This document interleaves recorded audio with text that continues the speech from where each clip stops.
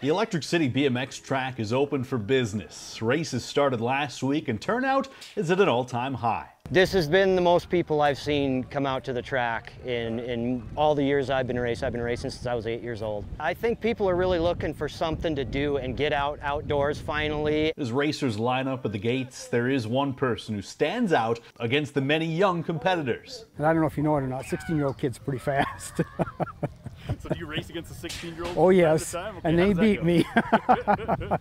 80-year-old Charlie Roselle took up the sport last July as a way to stay in shape for vintage motorcycle racing, and a return to the track amid uncertainty surrounding the COVID-19 pandemic was a huge relief for the retired educator. Because all my vintage races are canceled, uh, all my winter ones. The next one I'll have is in uh, Lewiston, Idaho. So, and that's not until June 14th. So we'll have a lot of racing here before then.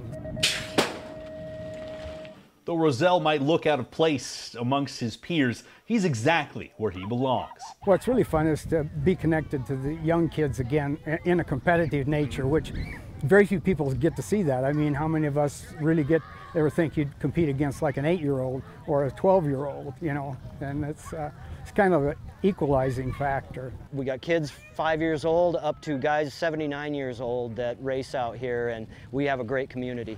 Tom Wiley, MTN News.